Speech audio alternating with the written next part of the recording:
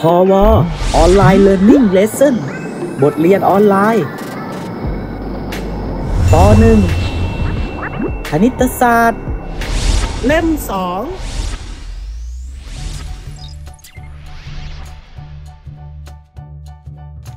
การเขียนตัวเลขแสดงจำนวนนับ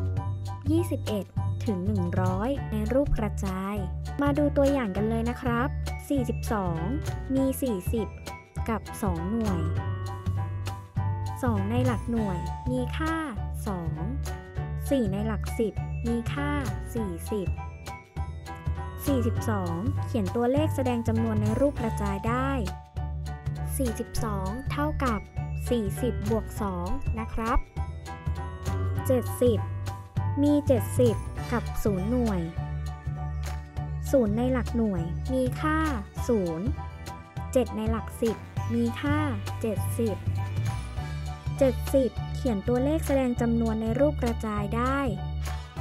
70 เท่ากับ